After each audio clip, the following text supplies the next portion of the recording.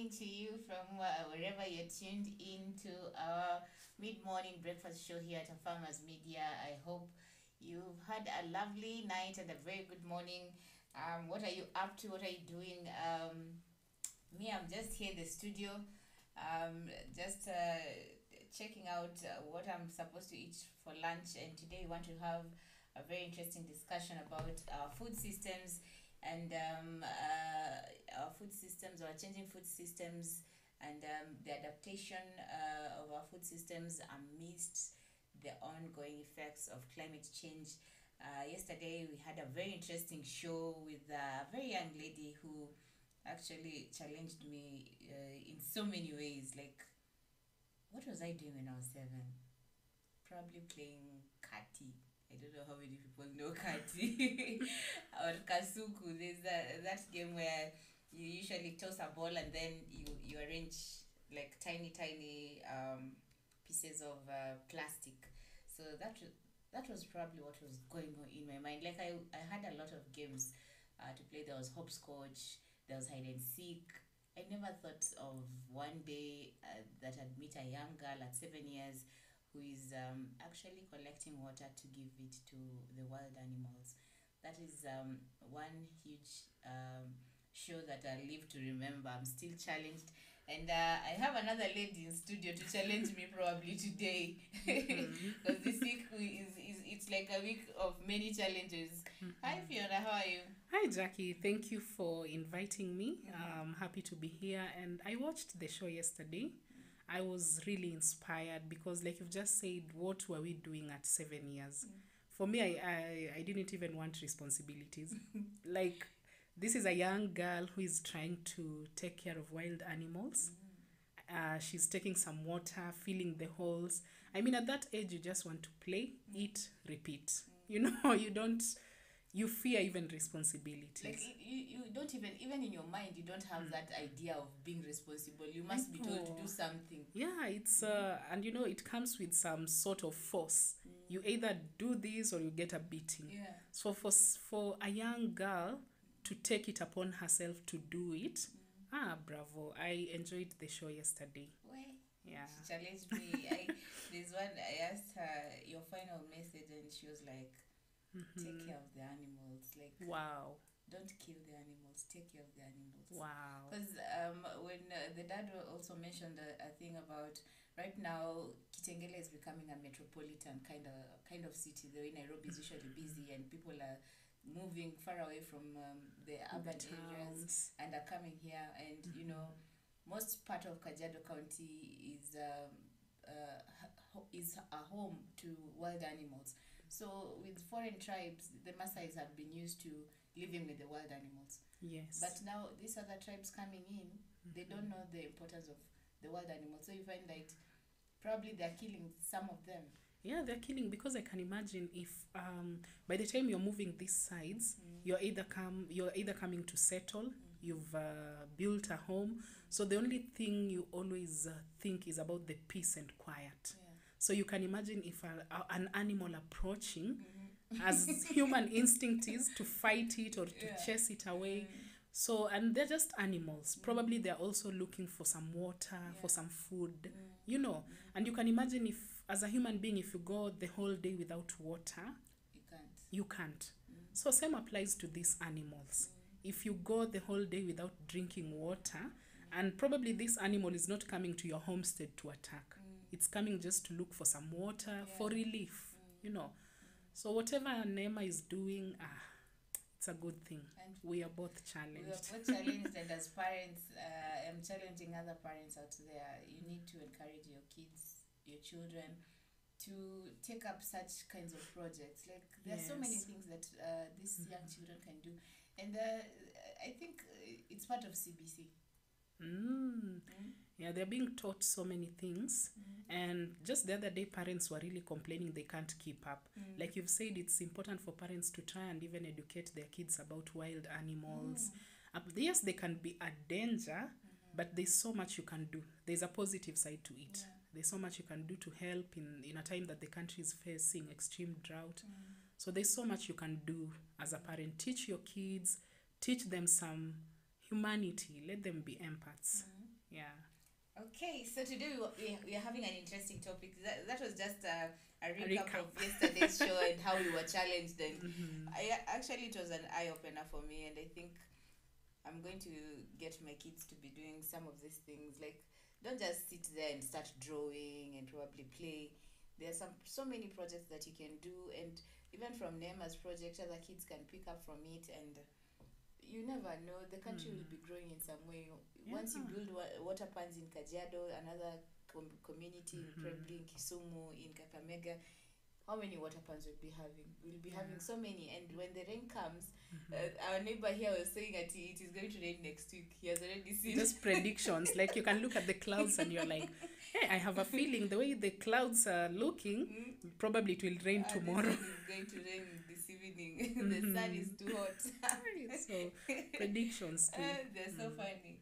So today we want to talk about uh, climate change. As you know, uh, COP27 is uh, soon approaching, and um, uh, all people are talking about climate change and the effects of climate, and uh, how um, climate change has affected uh, the agriculture sector, and uh, what farmers need to do to adapt to the changing climate. Um, uh, CEO Noah had an interview with the World Food Prize laureate um, Cynthia Rosenzweig, and um, this lady won, won the award because of uh, she has come up with a project Mhm. where they can uh, draw plants and climate on a machine in a computer.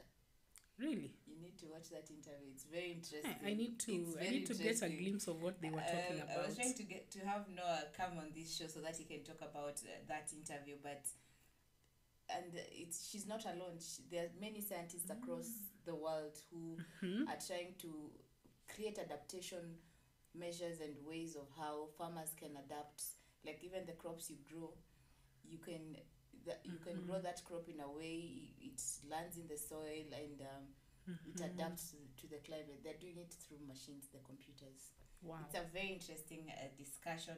But then, uh, you know, um, our food systems are changing uh, because um, let's let's face it, GMOs are here with us. they're here to Uh, stay the broiler chickens, we've been Mhm. eating them. hmm But uh, if you if you compare the taste of a broiler chicken and the taste of a kienyeji chicken, hmm there's quite a difference. totally different there's a huge difference Mhm. like you find the for me the kienyeji kitchen is the kienyeji chicken is more tasty Mm. compared to broiler Mm. sometimes you can you cannot eat a, a broiler chicken like twice in a week Mhm. you'll get bored Mm. but you know kienyeji chicken you can eat it even thrice a week because they're just different ways of preparing it and it comes out tasty. And i think for different communities they have different ways of preparing their chicken Mhm. and you realize it's more nutritious actually eating a, a kienyeji chicken than a broiler chicken Mhm. i don't know and the taste kwanza the taste is usually top notch If you ask me, me, I like broiler chicken. I, Really? I usually find kienyeji chicken is too tough. And then the smell is just too much. Like even after you've Mm. eaten, you it feel just it, it just remains in your hands. i think i think the way you prepare it first of all you've talked about it being tough Mm. there's a way because if i know i'm preparing kienyeji chicken today i'll start preparations in the morning Eh, okay. even if it's going to be for lunch maybe in the house. so uh, for me i will start like uh, i will slaughter my chicken early in the morning Mm. and then uh, even just taking off the feathers there's a way because from what you've you've told me you've reminded me of my mom Mm. my mom if you prepare chicken for her and she feels or she smells that smell you're talking about she will not eat. Mhm. like it doesn't matter how you prepared it for her even if she notices a bit of some feathers she will not eat it. So from her i learned how to prepare the chicken. Like you make sure you remove all the feathers and then you boil it. Like hata tumia pressure cooker. Like boil it for some time. Mhm. i swear the meat will be falling off the the bones. Really? yeah I'll try that. I'll try that. I'll try that. Mm-hmm. And this is the discussion you want to have about um, the food. Uh, things are changing. Um, the Kienyeji mbogas that uh, we used to eat, Managu, Saga, the Kisii community, and the Luhyas Mhm. and the Luos, you know, these the indigenous ones. They need the taste they have compared to the taste that the ones uh, that are being sold nowadays. Totally different. Like Mm-hmm. Yeah. even the, the the managus that are sold today in the market, you can just cut them like skuma wiki. But Yeah, the indigenous ones, you used mm -hmm. to Mhm. just pluck the leaves mm -hmm. and then boil them for I don't know, like githeri. yeah, for some time. But this one, you just cook. Uh, you just 10 minutes. 10 it's minutes like you're cooking spinach. so you can tell me mm -hmm. what is happening to our tastes and uh, how should people start adapting? Because climate Mhm. change is here. It's here. And Yeah. uh, the good thing about these indigenous vegetables, they are sometimes they just grow as wild plants.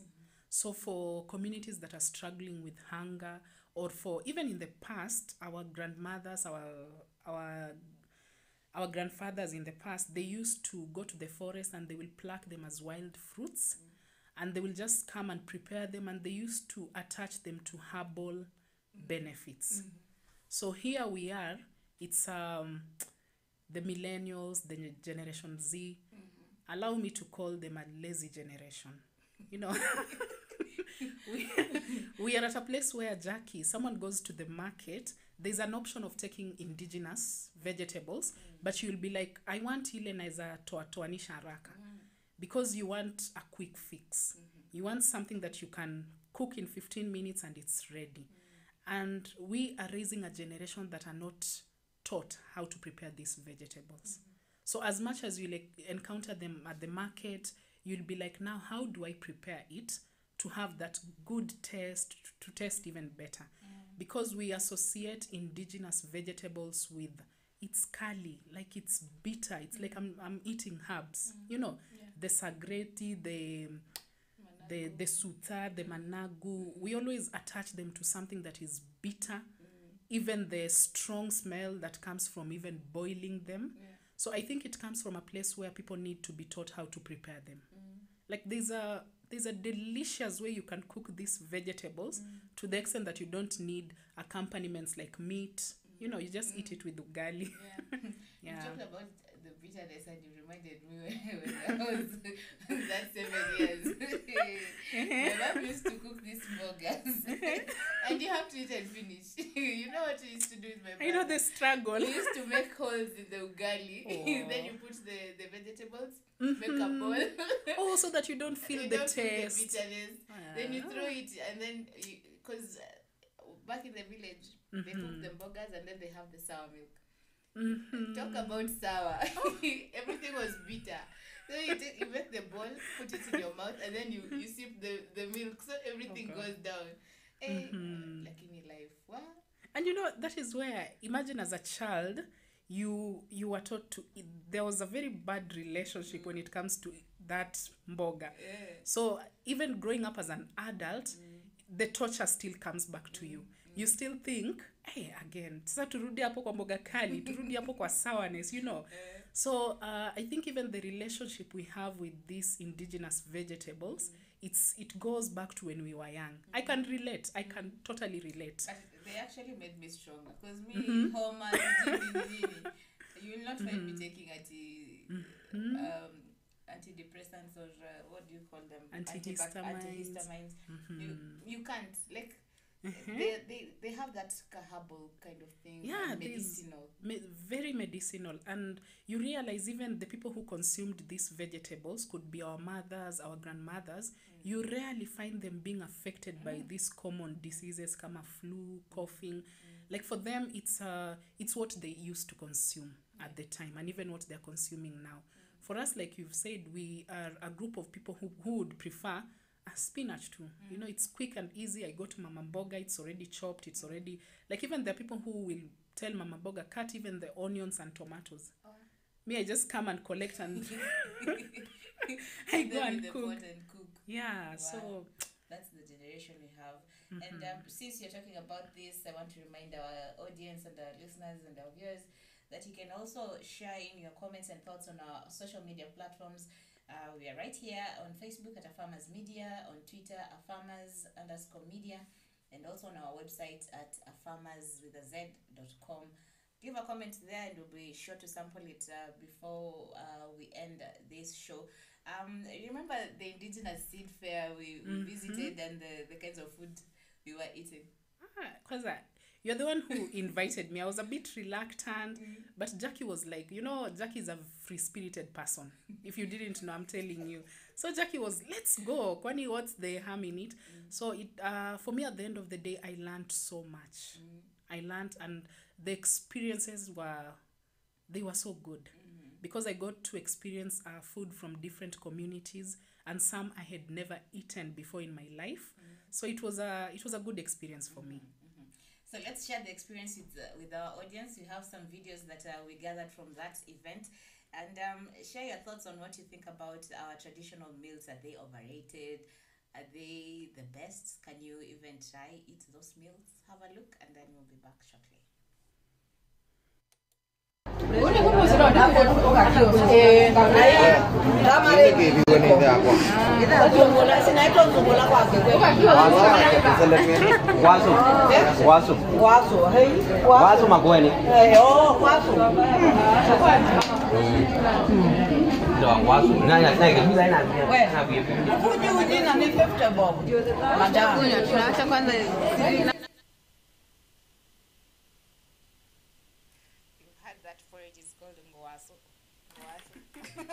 It's not zoo. ah, nzu, no, nzu, nzu, nzu is uh, beans. It's beans. And that, uh, yeah, uh, ngwasu, we've had porridges ngwasu in uh, Kikamba. We'll come back. Uh, take a look uh, at this other meal from, was it Embu or Mbere? It's from Embu. Mm, It's from Embu. yeah. Have a look at, the, at this other video then. How is it cooked? How is it cooked? Just boiled.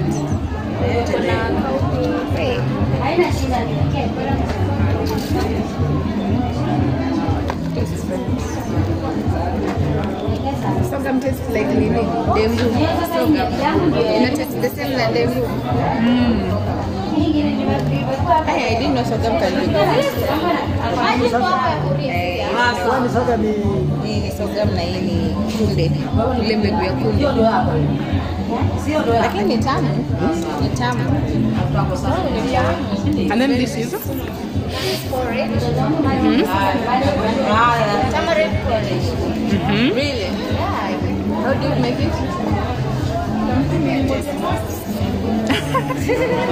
Kwanza ni nzuri. Ni sorghum. Hebu nionyeshe hii soga. Akuonyeshe amini ati sorghum inaweza pikwa. imagine. Hata me I would never have expected. Ina taste kama dengu. Ninataka kuwaonyesha the The tamarind porridge. you, you add sugar to it. So this is Embu culture. This is Meru. But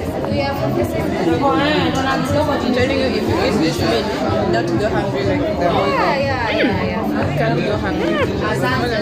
It's nice. I would never have expected. Sure. Because I don't like porridge. But this, yeah, but this one is this one is something else. Still the flour. You still ferment it. No, we don't. Just for the Tamarind that is making it taste like this. Wow.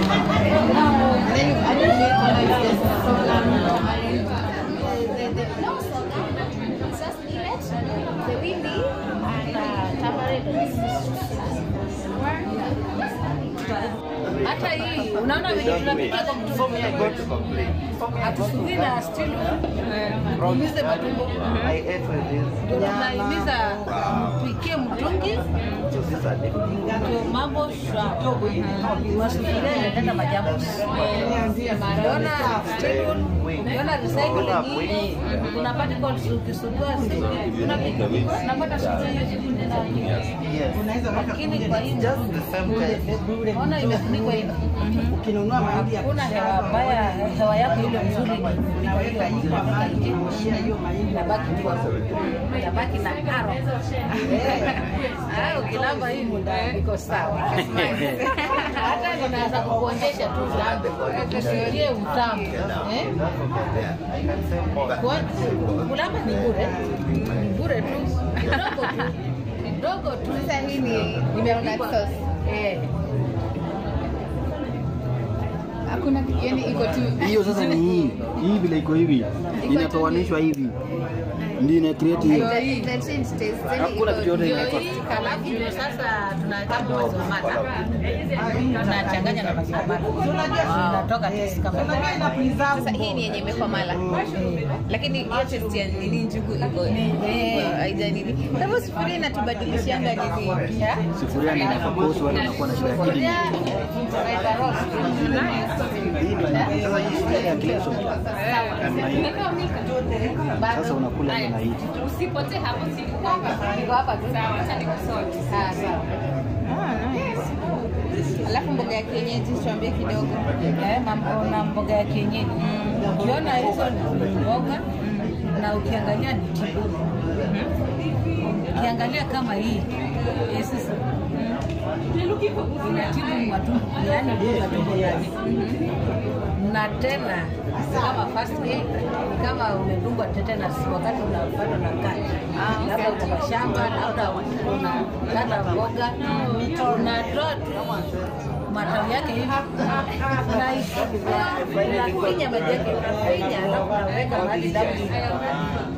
tayari ushapata na tetanus. Na bado inakuliwa. bado ni mboga, Si ndio nakwambia, ukiingia kwa mwili sasa natibu tumbo mpaka hata na okay. Eh, Hii sijawahi ona Na hii?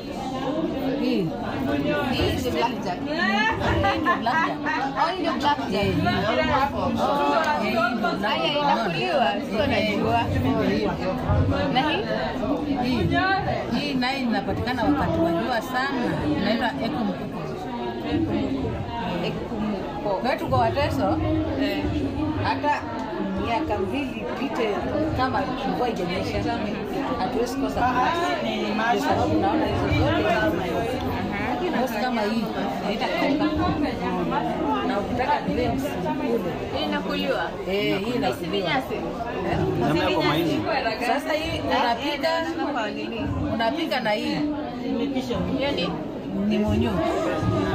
Sasa ukichemsha hiyo unaweka maziwa fresh. Kama hauna maziwa fresh unaweka ah, yenye haijatengenezwa. Haona mateso rahisi. Wako na nguvu. Na hii mam, hii imeni, I'm so curious. Hii ni panyabuku. Ehe, Panyabuku inakuliwa mboga. ehe. na hata kama unaua na haswa wamama wanafunguliwa na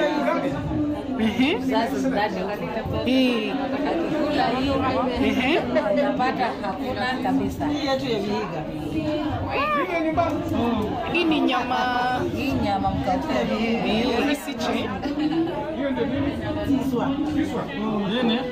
akotoka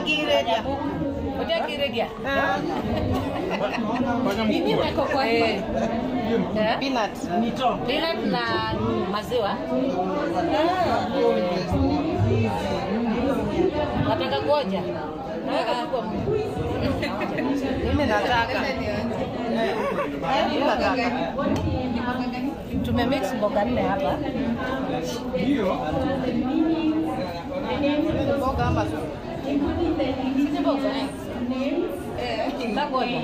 Ngoja. It has a bitter taste, but it's nice. Hapo sasa uko nyumbani. Ore. Ukatesa. hii hujanionyesha. Oh, nataka kuonja hii. Yes. Hii ni kunde kabala Eh, Katone maido. kemaido. Eh, jimbi. Nikuonyeshe. Hii ni mboga zetu za kitamaduni. Kula na ugali isonge sana. Hata hii hii. Ni mboga kunde. imepika na abala. hii chakula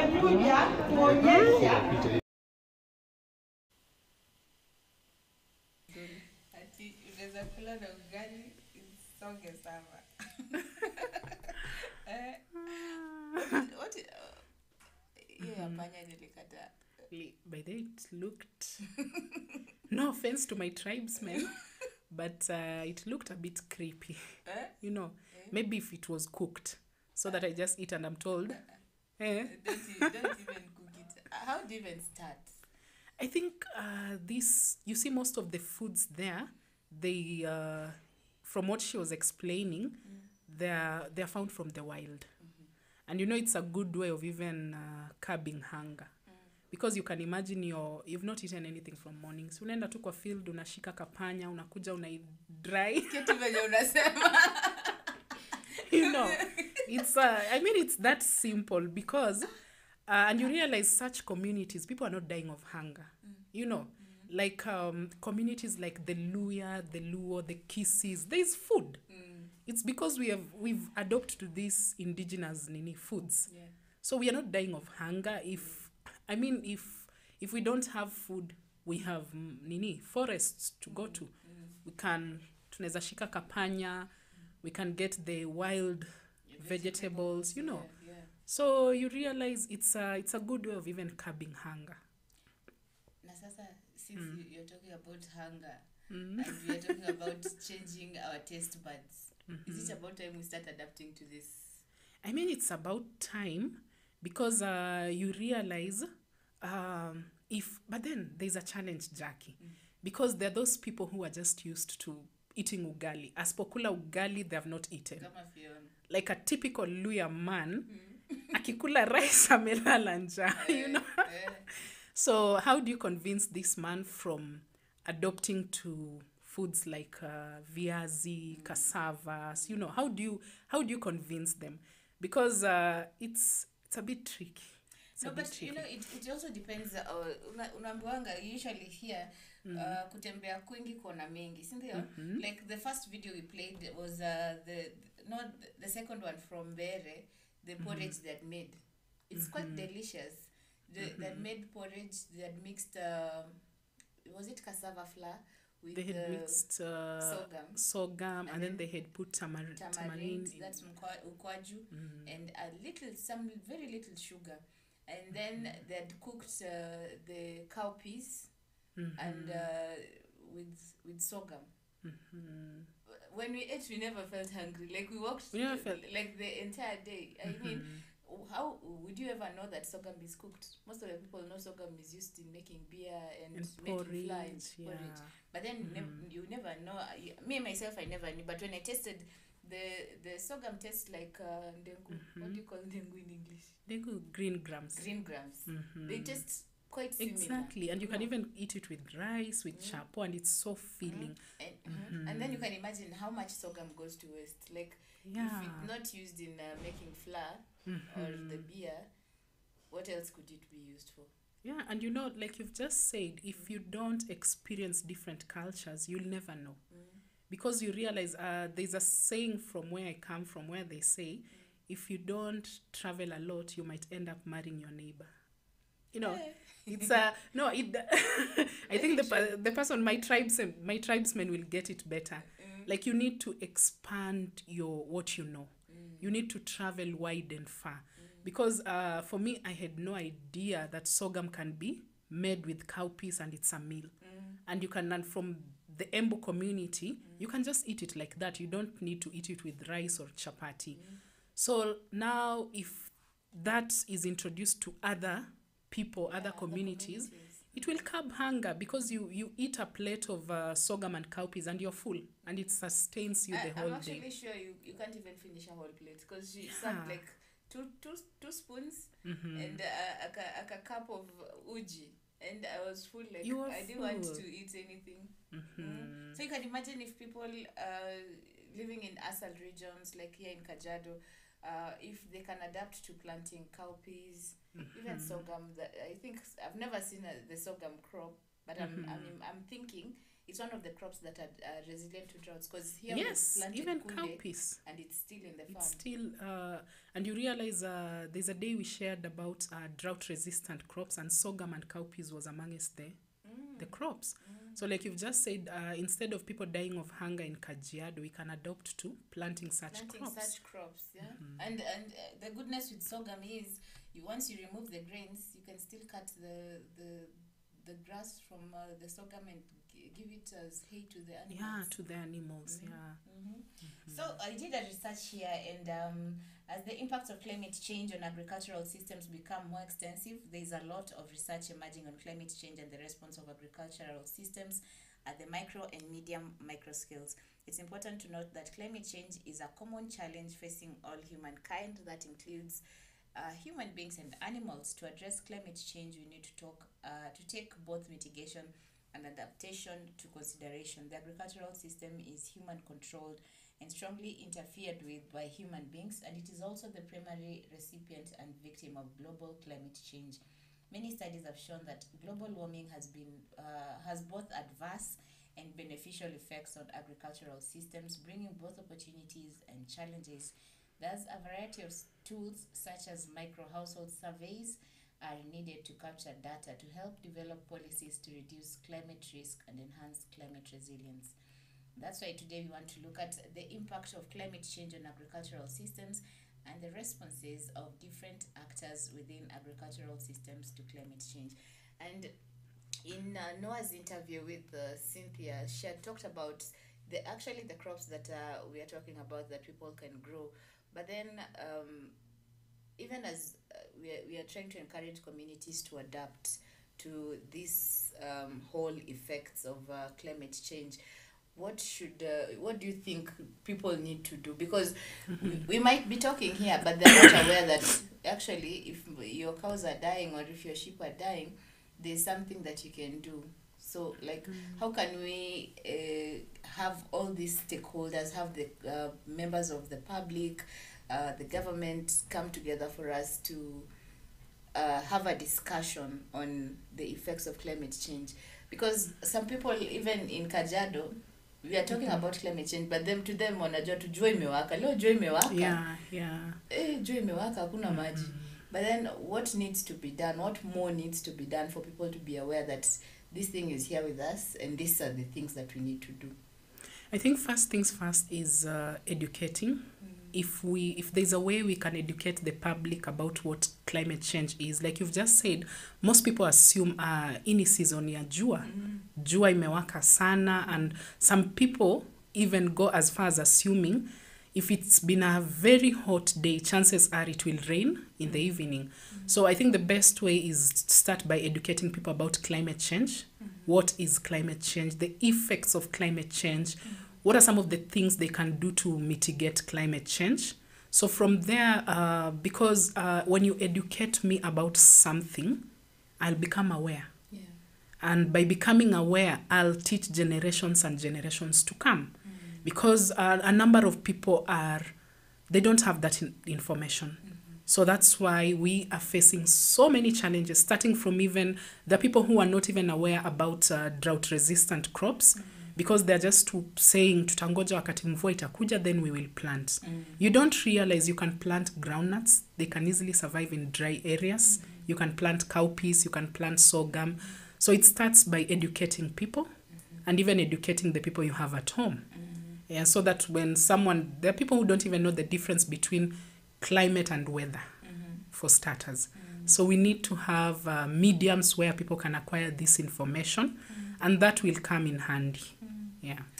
but where are we failing what are we not doing right like today we were having a discussion with you in the morning you had gone to buy sugar and I- you, you, I a was- step back I took a, I was like, uh, I'm, I'm switching from sugar to honey because the prices were just ridiculous. Like, I, I even asked Jackie, when, when was the last time I bought sugar? because I was, I thought uh, someone was stealing from me, to be honest. yeah. Kondi, you, what usually you use in your tea For me now, uh, the nature of my job, I don't take tea in the morning. Mm-hmm. So I'm just told, uh, hakuna sukari. And I, I'm like, go buy it. Uende ununue so it has never really hit me how much sugar is now so today in the morning i went to buy sugar myself mm. and i was shocked. Because i even when i asked how much is one kg of sugar and i was given the price i was like ah uh-uh. I even called you to ask how much is sugar? Because I thought someone was stealing from me. So and you that is only sugar. That is only sugar. have you bought unga? Have I'm you sure- bought oil? Have you bought like where are we headed to as a country? Because if i'm complaining and at least i'm in a position where i can afford it what about this other person who can't even afford it? You hear the prices and you you take a sit back and you're like mtakunywa chai hivo. Ama we need to cut off on ugali. I remember i have a neighbor who has uh, a helper from western kenya so this neighbor is used to eating warus and substituting so many other things to ugali. So this helper was like if i'm working for you i need ugali. Yeah. and she was like uh, for me i have to eat ugali on a daily because the nature of my work I have to. taking care of the home i have to eat well.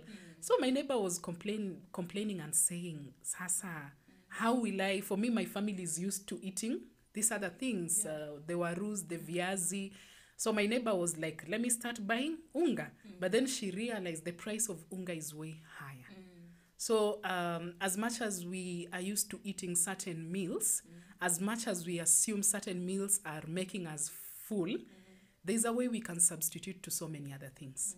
If ugali, if you're used to eating ugali, ugali on a daily, unga saizi prices are high.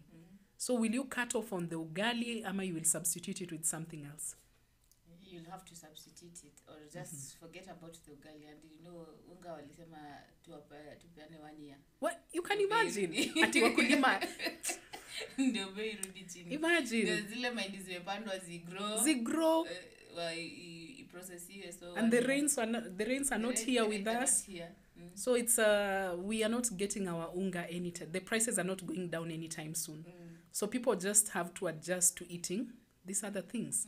And I don't know uh for the for the cassavas, for the viazis, they're also feeling Yeah, they're very nice. They're very nice meals. Like me, in the morning, you'll rarely find me taking bread.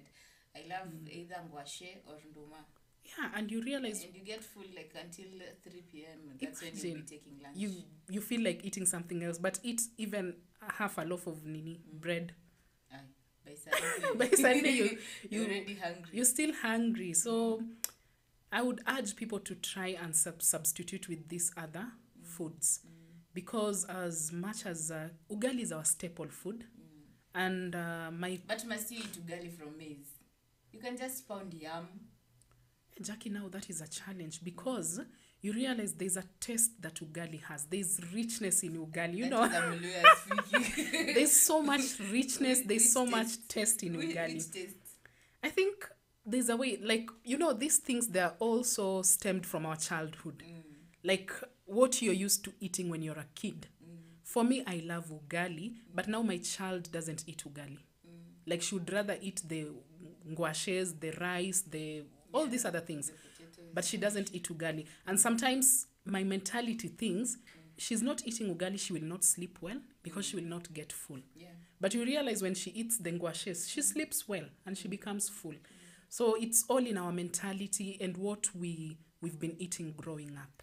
But will we be able to change people's mindsets? Like in Kisii, they love the brown ugali made from mm-hmm. mwimbi. so when you give them ugali Is this made is, is it the same ugali that brings constipation? Like when you eat, you're told wakisi? by the way with that I don't know. there's, I don't know. I don't know about that. I there's, don't want to there's so many myths related to that ugali. I don't know it will give you some real constipation. Let let me take a break. We are taking a quick commercial break. I think I'm constipated. we'll show you some more videos uh, from uh, the Indigenous Food Fair that we had um, at uh, the National Museum in um, in uh, Nairobi. Uh, just uh, let me let me reflect on what I've had today. Eh? This one. We'll be back shortly. hatutakuwa na hisi na this is freedom hii iko na karoti niko iko na ile iko na hii na hizo za kiyomo iko na vitu nyingi kama hizo na tena apate kitu yenye mtu ashapate nimeweka kwa mfuko yake alafu unaniambia ni mzuri ni mzuri aje Eh? hiyo ndio mzuri bado uki- hata saa hii next time you will go to the shop kwa duka kwa duka. Sasa we don't want to be slaves. Eh? Tunataka kuwa independent.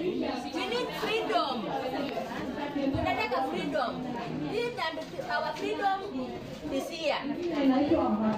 This somebody controls you in sin. amekucontrol na kila kitu. If you don't have a seed, seed ni seed, hata human being is a seed. Eh, Everything is seed. Na mtu akikushikilia kwa mbegu, utakuwa mtumwa. Akikwambia hii inasema yes sir, yes kila wakati. So we don't want that. We want to be free. Mungu alitengeneza shamba ya Edeni akapanda kila kitu. God is, was the first sower and farmer is the first breeder. Na kwa hivyo we need to breed our seed tukiendelea. Hatutaki restriction. Eh. So we don't want GMOs.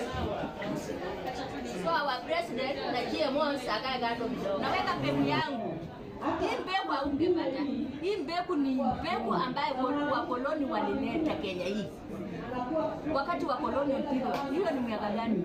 90 ikianza huko 19 ikianza Eh, hiyo ni miaka gani? 1940 something. Up to now. Na bado hii mbegu iko. Kwa nini tunadanganywa ni mbaya? Eh? Na tumeweka tumeweka na itabadilika. Itakuwa blue, itakuwa hii ya red itakuwa yellow ama itakuwa nini? Iko tu hivi. Ni nini mbaya na hii mbegu? Na production ni sawa. Ukiangalia hii si si mzuri. Ukishika hii mbegu hivi, si ni mingi? Ni nini unataka?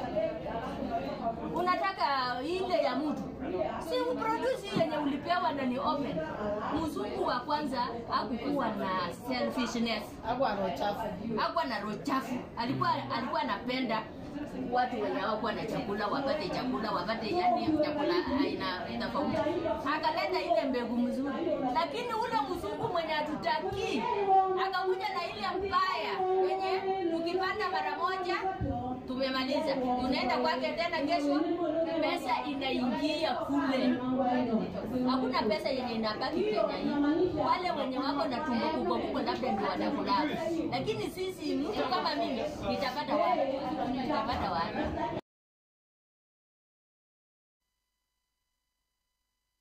Very continent issues there raised by that woman on uh, the seeds that we have.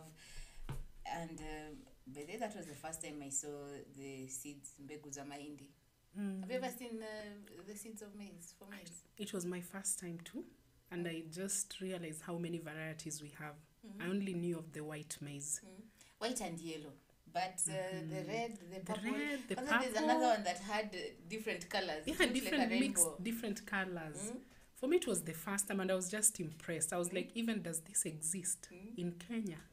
I was surprised, but uh, it's it's interesting. It's in- interesting how we have so many different varieties, mm. and so many f- so few people have the knowledge of it. Mm. Many people know the white and the yellow mm. maize, but the yellow maize I only knew of the benefits. Have you ever eaten uh, ugali made from yellow maize? No, I've only eaten popcorn. Ama that one is not the yellow maize. That, that's not the yellow maize. Aye. That's totally Kwani- different. Which one is These that? a you realize popcorn seeds are very tiny compared to this type of maize. The seeds are a bit bigger. Then I probably have never seen the yellow You've maize basi. Me, I And it was it was being knew the showcased yellow, yesterday. Me, I knew the yellow, other- yellow maize. Me, I knew in your popcorn. Not really. Popcorn, I assume it's totally different from yellow maize. Because uh, that day, if you looked keenly at the yellow maize, the seeds were a bit bigger. Yeah, they just look like maize. Yeah, just look like maize that is different. There's ugali made from it, and it's actually very nutritious compared to even the white So how ugali. does the ugali look like? it's just it's a, it's not yellow but it's a bit it has a color it has a color to it but it's not too yellow that uh, do Luyas eat that kind of ugali? they eat kwanza they're slowly adapting it because it's uh, it's more nutritious. Like if you go to many different household mm -hmm. you'll realize they prefer that to even the white nini white ugali. Mm -hmm. and they they just go to the they these places where they they go to grind them themselves. And then you find uh, they're making ugali out of it and it's so filling. Just a, a tiny slice will have you so full Tell so us, it's it, i think it's also a way of So uh, like, uh, you want to tell me the purple maize will bring Mm-hmm. forth purple maize? I, i've never tried Ama it will bear white white maize. i think purple maize will bring purple maize And then what will it be used for? Because even githeri you can't see it kwa githeri ya ukweli. with different colors. But I think um, even for the yellow maize, when you're going to grind it at the posho mill, mm-hmm. they usually advise you to mix it a bit with the white maize. Mm-hmm. Because uh, for yellow maize, if you grind it alone, mm-hmm. even the texture, it will be too soft. It, uh, it will be like uh, we'll be making the pap, the ugali that South Africans and Nigerians make. But you know, Kenyans, we are used to the, The hard ugali. So if you want the, if you prefer the hard ugali, they will advise you to mix it with a bit of uh, white maize. So the, you just go around mixing it. So I assume even for the purple maize, you might mix it with the yellow and the white. But it won't because the white the white will overpower the purple. So it won't come out as purple. Yeah, but I think it's a nutritious way we, we of need- trying we needed, ugali. we needed to have a nutritionist uh, in this show so that, Mm-hmm. or probably someone who has knowledge. Yeah, who can clarify and tell us. Because even from earlier, the rat one, Mm-hmm. the rat video, eh, those, those things are weird. They're weird, and my The foods was, weird because you're eating grass. and my question was, uh, you realize is rat is a bit of a wild animal Not even wild. wild It's- is an understatement.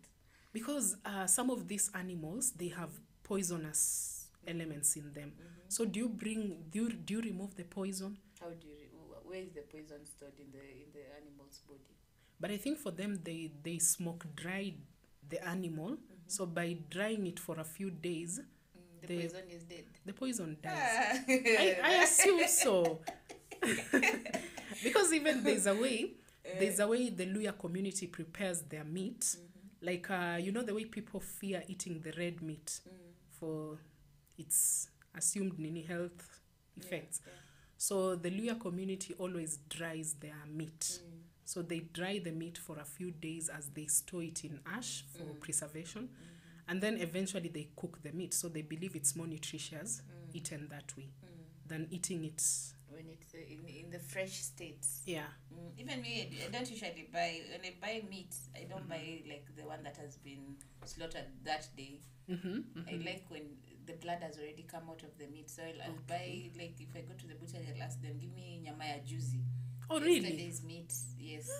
Mm. You you're the first person I'm hearing that from because most people usually ask hii ni nyama ya leo hii imechinjwa leo because we assume nyama ya juzi it's not fresh maybe it's at the verge of even smelling i don't know no, it depends on where you buy it. We- Like I don't like the one that is has blood flowing on it. So okay it, it- like everything has already come out, all the waters, the, Oh, the it has meat, been all the blood, it has drained. So now the meat is in its. Now that's when the meat is is, is nice to be cooked. I and then think. jackie let me ask you there these restaurants you go and then you order your beef steak and then they ask you do you want it uh, raw medium raw or you want it cooked? And there are people who prefer eating it medium raw.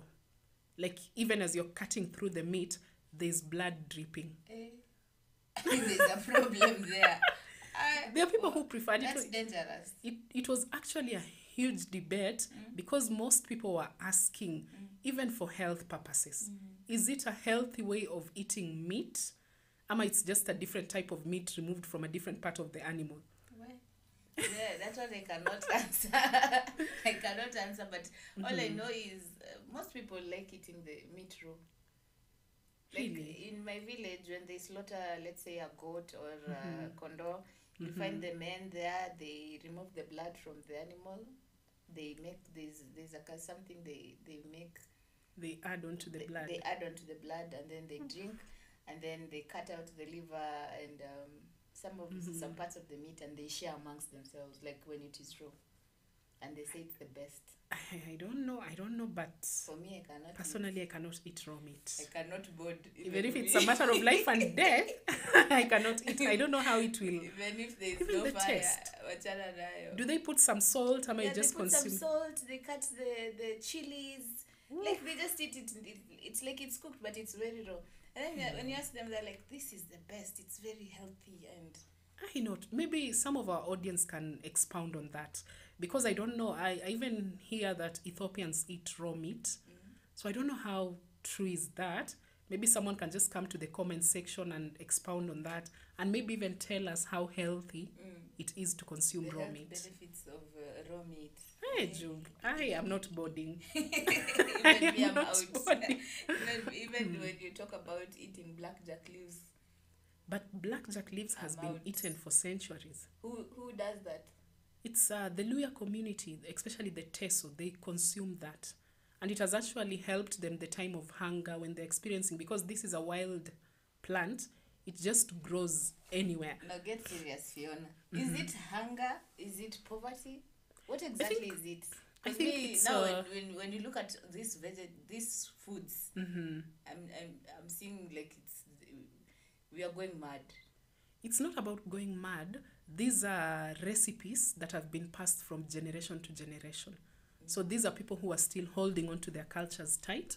So you realize um, different communities, they have been eating things that have been passed from generation to generation. Mm. Maybe we are just a generation that is trying to break that mm -hmm. by consuming uh, a variety of yeah. food. So um, if the generation before our grandfathers were consuming the same, mm. and they even attached it to medicinal value, mm-hmm. so you realize it's so hard for these tribes to break that cycle, mm. and they realize they they they'll even tell you this is the way to go, mm-hmm. because these vegetables have been treating some of the ailments, stomach mm. issues, mm-hmm. so it's a bit hard. It's not associated to poverty, but it it more it mostly used as a medicinal value, and they attach it to curbing hunger.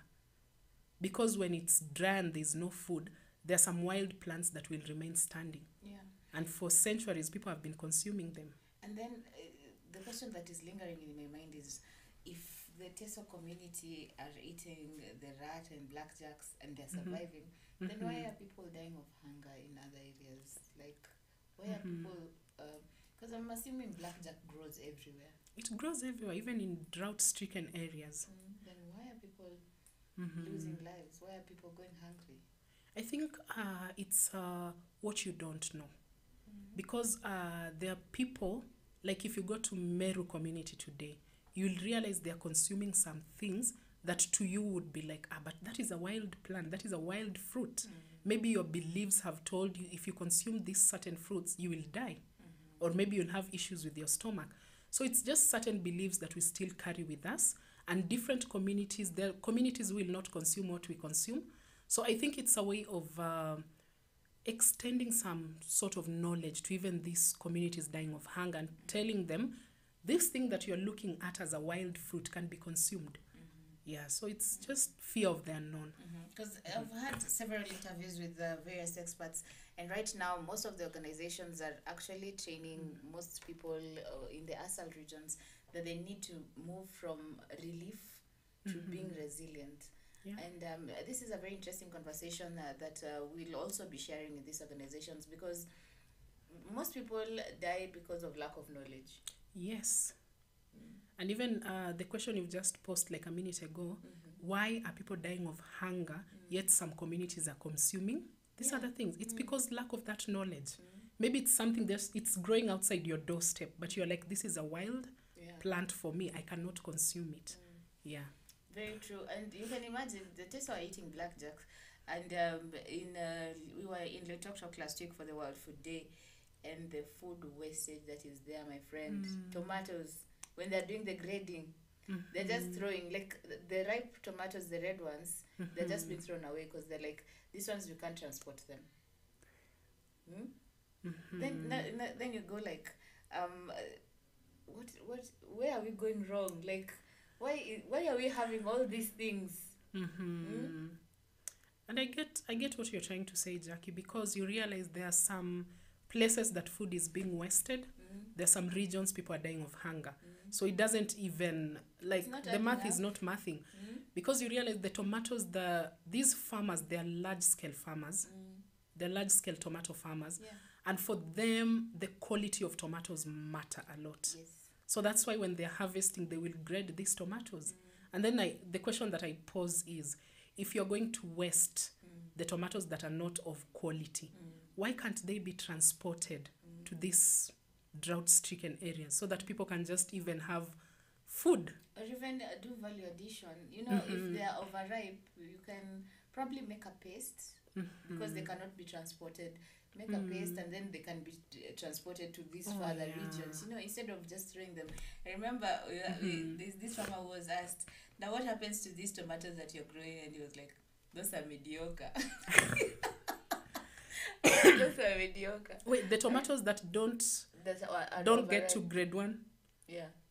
You So- know, when they're grading, they usually take the blue band, that the ones that are almost red, Mm-hmm. and then the yellow ones. Okay. So the ones that are red completely, you know, when you tr- when you try to transport them, they'll they'll break, they will- and once they break, they'll spoil these other ones. mm-hmm. So because they don't have any place to to take them, they just they throw them. just dump them. they dump them, and then they're eaten by goats and sheep. Hey, that's that's uh, sad. that is, uh, it's not the first time I'm visiting a farm where they're doing that. There's another farm I visited where they were harvesting cabbages. So they usually take the big cabbages that are Heavy. They have got some weight. that no that Mhm. when you you see when you're you, when you're checking for the cabbage you, you knock it to see if it is fully loaded. Okay. So the ones that are not usually loaded, they usually just dump them. And you know that uh, you've talked about value addition, but you realize, Jackie, if I decide to do some value addition on tomatoes, where will I take them?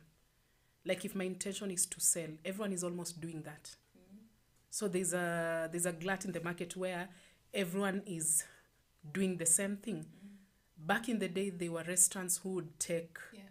tomato tomato paste from t- nini from people who are doing value addition. Right now, the restaurants are doing them themselves. So how do you convince someone that I'm going to do value addition on these tomatoes and then I'll sell them to you? Now that is a story for another day. You'll need to catch up with us as we try to link you to markets. And um, we, there's a project that uh, Farmers Media is running called Transport Logistics, and uh, will be showing you cheap and available ways to transport your goods.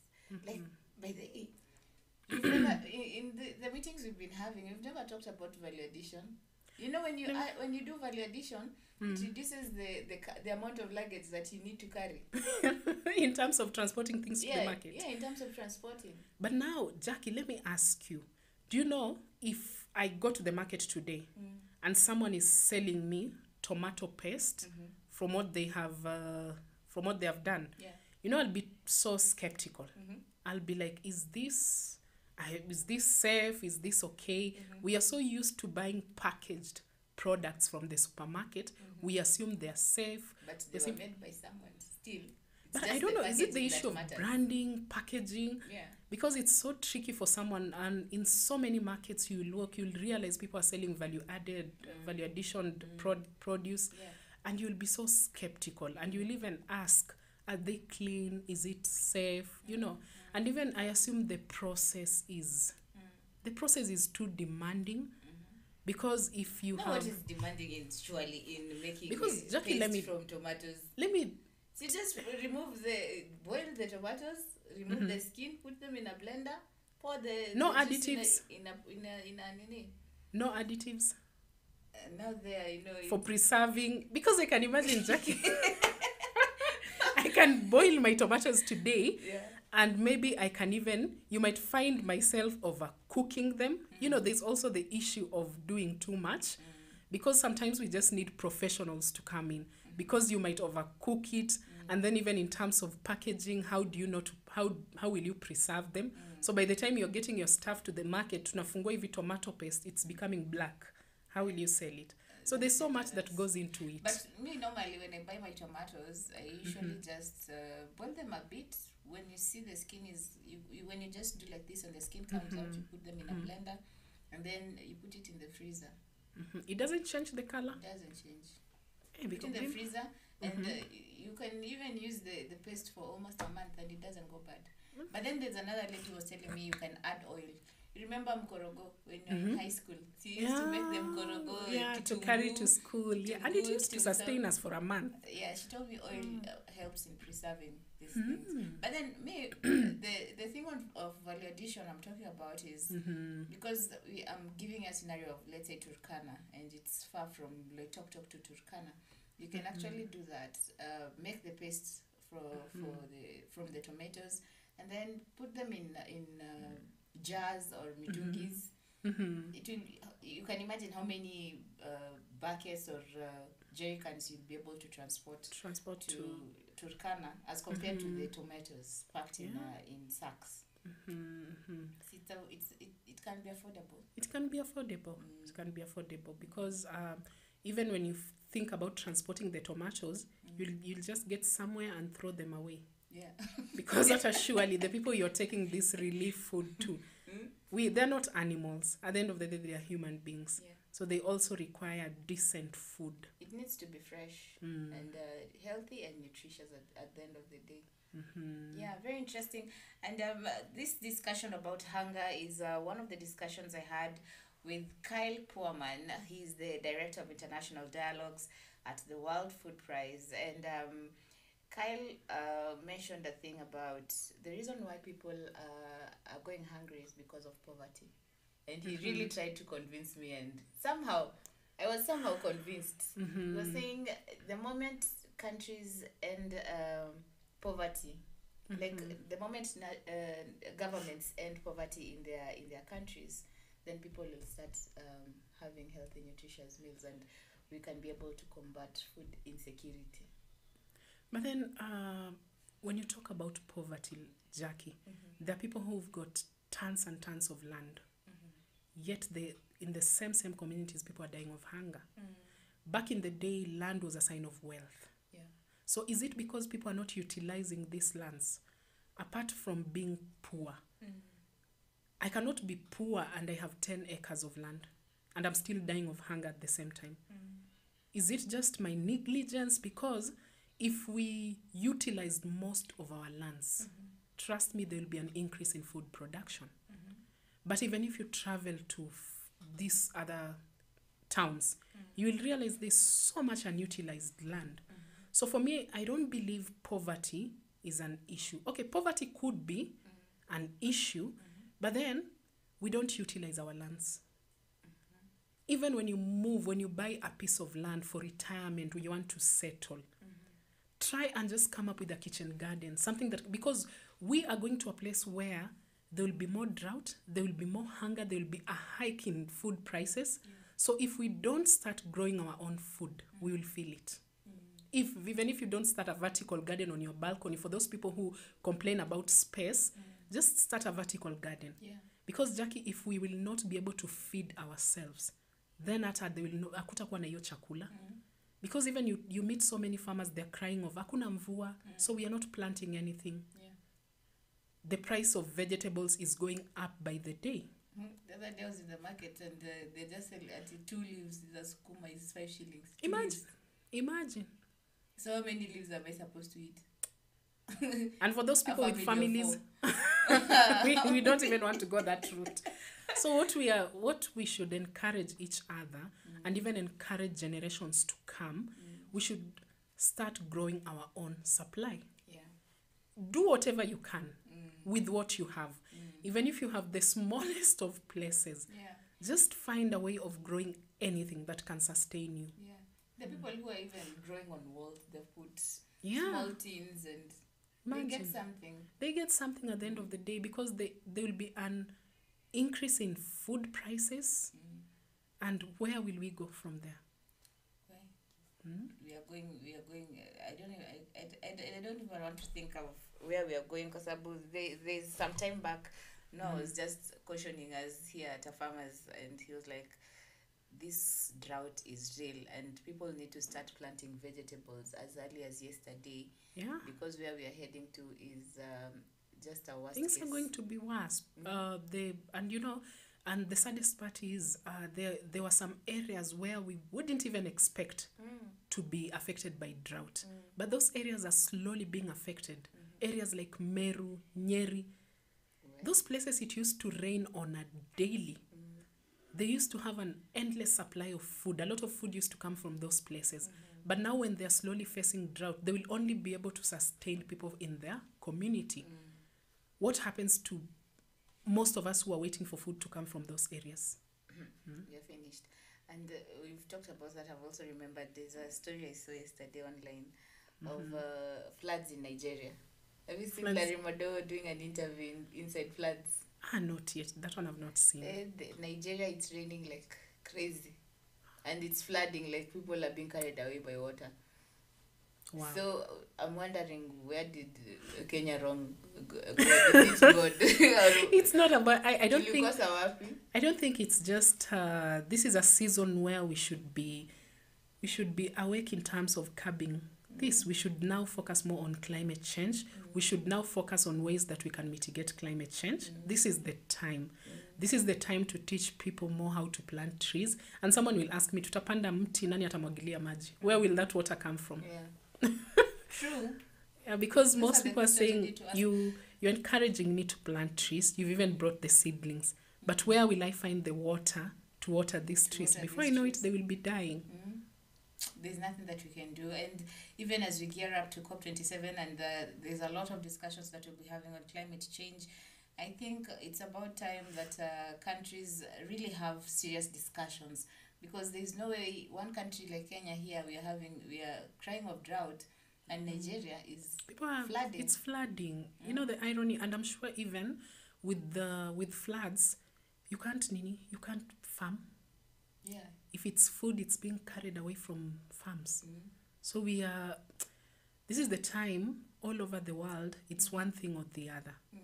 People are facing climate change is real.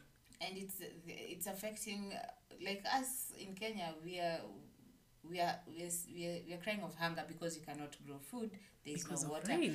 but Nigeria they also, they'll also end up in the same scenario like Kenya because they can't we, grow with food. too much water they can't grow They food can't do anything sustain and anything that you plant. Mm. So we are just let us just encourage it. Do what you can as an individual. Do what you can. Plant what you can. Educate your kids about climate change. Educate your neighbor. Educate someone who is ignorant to it. Someone who is just saying it's a season. It will die with time, because Uh, if the guy we talked to this morning, the guy is a farmer. yeah But he is thinking the rains will come next week. Next week. he's already forecasted that the rains will come next week. So he's banking on the rains Yeah. so that they can sustain whatever he's planted. So if they don't come, Manzi, disappointments yeah. so edu- educate yourself about climate change and Yeah. different seasons, different weather patterns. and just how to adapt to now this climate Yeah. it's already here with us what can you do like if nigeria is flooding the government the nigerian government right now should be working on harvesting that water. Yes, Yeah, and and- preserving it. and preserving it and keeping it for the later days.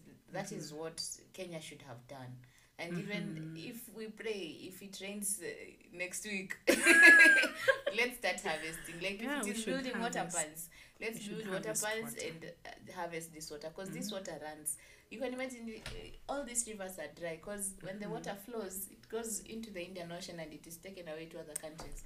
There's a we need to capture this water for Yeah, we need to preserve preserve it for later later use. And like you've just said, we need to come up with ways in which we can adopt to this. mm. Adopt to an increase in food prices. Yeah. Plant your own uh, vegetables. If you if you have a, a kitchen garden full of veggies, I have it. Mm. What will make that mama boga sell anything to me expensive? Expen- no. I'll be like, I don't even need it. I have. Mm. And they will have to sell it at a throwaway price because no one is buying.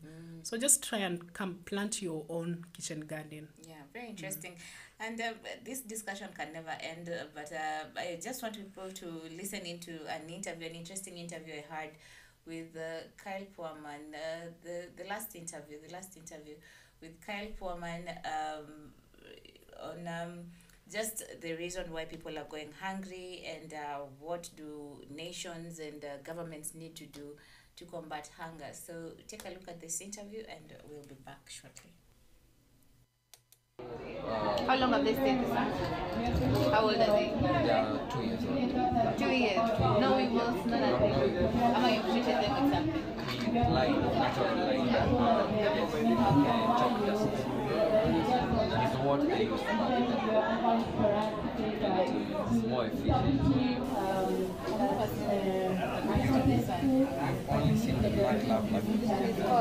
Jahid. Jahid. Yes, that's So the this, logo. this and this. Which Jahid? This the black Mark, Joy. We have the Rongai. Me, I've never seen them. They're there. I've never And they are indigenous. You'll find them in Cumberland.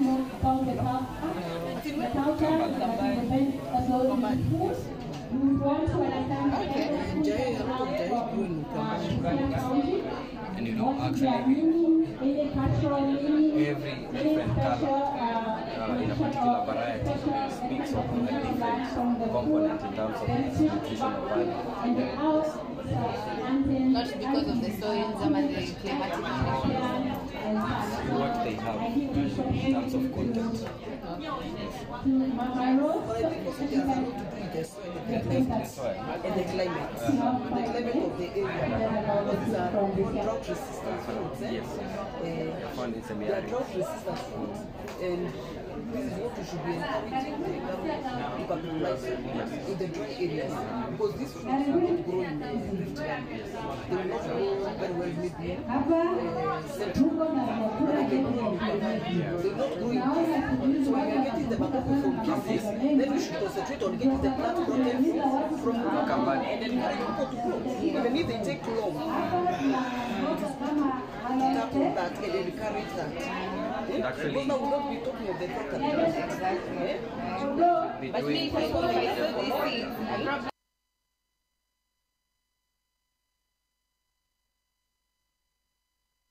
Welcome back. Um,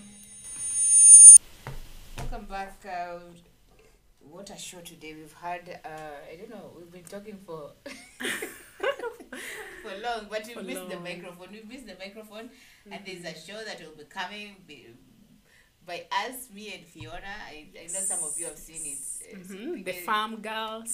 Supige drop bana. a drop bana. the No, farm girls. Let them keep. Uh, we should excite them mm-hmm. so that by, t- by the time we are going live or we are putting anything out there, mm-hmm. the excitement has built up. But I'm telling you, the people who will be coming in that show, mm-hmm. uh, the women, Yeah. because it's an all woman thing. It's an all woman thing. So women out there, start following up. But then you need to make a page. Yeah, we need to make a page. start uh, following us, uh, telling us uh, where you're at, what kind of farming you do, and we will be coming to your farm with all our equipment, the the gumboots, even though Yeah, we uh, gumboots. representing farm girls all over the world. yes. So watch out for that. so we've had a good time today in the show, and I want to leave you everyone with this uh, wonderful quote uh, that says, "Let thy food be thy medicine, and medicine be thy food." Amen. This quote, though thousands of years old, acknowledges the importance of healthy eating and how the nutrients in your various foods have healing properties. hmm What a way to end the show. We have to say goodbye. Sorry. Till next time, guys. Till tomorrow. we'll see you. Uh, we leave you with the interview from uh, Kyle Poorman um, on the discussion we had on uh, how to end hunger in Africa. And um, hope to see you. I, I was not able to sample uh, your comments, but uh, I'll respond to each and every comment uh, with Fiona here. We'll respond to all the comments and give you shout outs in uh, tomorrow's show. So see you. Bye. Bye. Um, and then this is my coworker Kyle, who um, is the real expert on these things. So Become um, an Kyle, African timer. This is Not an American Jacqueline. timer. Hi. Hi. How are you? Um, my name's Kyle Poorman. I'm the director of international dialogues. Are you in Nairobi? Yes, I'm in Nairobi, Kenya. Okay. All right. Yes. Wonderful. Lots of good friends in Nairobi. Betty Kibaara from Rockefeller. Ah, good, okay. good friend. Good friend Mhm. with with with with Betty. So uh and CD Glin used to be there uh as well. So I Mhm. don't, I don't know if you know CD, but uh I know Betty. I know Betty. oh good, good, Yeah, good, good, good. She's actually so I used to uh, she got her PhD from Colorado State University in Mhm. um uh, Fort Collins, Colorado. I used to live there. So uh so we have we have that connection. So Ah, nice. Oh. You speak a, a little bit of Swahili since she's your friend. no. Zero amount. Interesting. Uh, probably, I don't know if you're ready. We can start the interview. Yes, really. um, I'll have just you. Are you recording this too? Yes, yes, I'm recording. Yeah, so that we can Okay. change. Uh, I'll get out of the way so it's not Okay. this weird woman in the side. So probably you can start by an introduction just for the benefit of our audience to be able to know who we are having. My name is Jackie Kemucho. I'm a producer and presenter at Farmers Media, where we do stories to do with agriculture. And uh, tomorrow will be World Foods Day. So we thought of talking to you people who are working on the food systems in the, the developed countries. So probably um, tell us a bit about yourself, who you are, and um, the organizations you're working with. Sure. So my name is Kyle Poorman. I'm the Director of International Dialogues at the World Food Prize Foundation. The World Food Prize Foundation was started by Norman Borlaug um, uh, some, well, almost over 30 years ago now. Um, and really, that uh, the genesis of that was because uh, Norman won the um, Nobel Prize, the Nobel Peace Prize, for his work on on dwarf wheat. Um, and he actually went to the the prize committee and said, you know, we should have a a, a Nobel, you should have a Nobel Prize for agriculture, um, and that and and that wasn't possible, um, but was was possible to start an organization that really um, brought together people around the world to focus on agriculture. And one of our um, big pieces is we award the World Food Prize uh, every year. This year, it's Cynthia Rosenzweig, uh, uh, a NASA scientist um, who who did kind of the first climate models uh, that that showed climate change impacts on agriculture, and and she's really morphed over time to bring together modelers from around the world and around the academic spectrum uh, to focus on climate change and then climate change adaptation. And her group that she started is AgMIP. Um, uh, but she was one of the first 1988. She was doing the first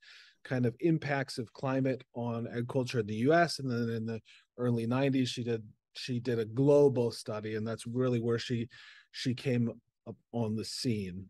Uh, so so we're going to honor her this year. Uh, last year it was Sh- Shakuntala Thilsted um, and her work on fisheries. So we're really you know we're we're we're a global organization um, uh, with with a mandate to give prizes, but also we we tr- try to inspire uh, the next generation of people who are going to work in food systems, and so our youth programs touch people all around the world uh, in in secondary school and in university and in post university and educators. Uh, and so we have significant uh, uh, amounts of, of youth programming uh, as well as our kind of dialogue. And so this year, Borlaug Dialogue is occurring this next week, uh, feeding a fragile world, where we'll have, you know, thousands of people uh, online and and about a thousand people in person. Very interesting. Um, I don't know. I, it's the first time I'm hearing about the World Food Prize, but we'll get into that because uh, tomorrow will be World Food Day. And um, yeah. we want to talk about the World Food Day. Probably are you aware of it? And um, why is it even important to have such days commemorated? And how is America uh, commemorating this day? Yeah, so, well, I think it's important to focus um, people's attention on food and food systems. Um, and so, you know, in the United States, I would say that uh, a set of people are are are focused on it, um, but you know, around the world, I think uh, you know more and more people are commemorating World Food Day, um, and and and I, I really think that's because this is the the essential piece of life, right? It's the essential piece of of of where we are, and so I think it, we can, for example, uh, if we can focus people's attention uh, on the need for access for healthy food for all. Um, and uh, that's that's true in the United States. We're not a where a significant portion of people are not getting, you know, healthy food, um, and you know around the world. So I think that's I think that's of course we should fo- be focusing it on the other 364 days too, um, but it, it is a day to focus the attention of the world uh, on um, food security, on nutrition security. Very interesting. And uh, when you started talking, you mentioned uh, something about this year's theme focusing about feeding a fragile world. right now we are having changing uh, uh, hard times, the, the effects of climate and uh, the war in Ukraine, and most countries are just um, busy trying to end hunger. First of all, I don't know if you've heard the report of uh, Kenya lifting a ban on GMOs. What are your thoughts on GMOs? And um, UN, UNS, UN's SDG 2 talks about ending hunger and achieving food security and improving nutrition and promoting sustainable agriculture. Um, if we are to feed, uh, to feed a fragile world, what can countries do? Should we go the GMO way because we are having these harsh weather conditions and um, the, the, the changing kinds of uh, seeds that we are doing? Right. So, uh, a phenomenal question. So, uh, first of all, feeding a fragile really, world is really focused on this idea that, you know, what we've learned um, with climate change, with COVID 19 and a pandemic shock, with a conflict shock um, that then create higher prices, um, that we see that food systems uh, around the world can be very fragile. And events that happen outside of your country, um, whether it's in the United States or whether it's in Kenya or whether it's in Bangladesh, um, you know, outside forces can really affect, you know, the provision of healthy food. Um, and so we're going to deal, we can deal with that in the short term. For example, price shocks, they're short term shocks. And then there are long term shocks like climate shocks that we're going to have to adapt to. Um, but how I view this and how I view the GMO question is that we don't need a single silver bullet solution for everything. We need innovations across the board. And so we need literally thousands of solutions. So it's not just about GMOs, right? And on the GMO topic, I think that GMOs are a specific solution for a specific set of problems. I'll just let you know that there are there are very few GMOs in the world: maize, uh, soybeans. Um, I think that there are the, those are great solutions in some places and may not be great solutions in other places, right? Because we don't have GMOs in, in, in vegetable crops and fruit crops, but we have other significant problems there that we need to figure out. And that those problems are like, how do we ship them? How do we keep them cool? How do we get them to market? Uh, I'll just, you know, mangoes in Kenya are a great example of, of investments and how do we get them to market? How do we get them so that uh, Kenyans can export them to the EU, which would be a big uh, boon. So we need thousands of solutions. And I think biotechnology and GMOs are one solution, but I don't want to get hung up on that, right?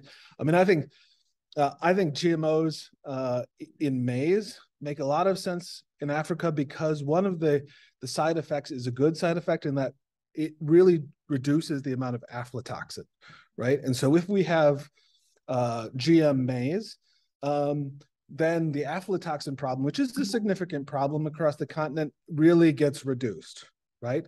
And so we have a, you know, we can reduce aflatoxin in other ways, better storage techniques, PICS bags, but those are kind of small scale solutions.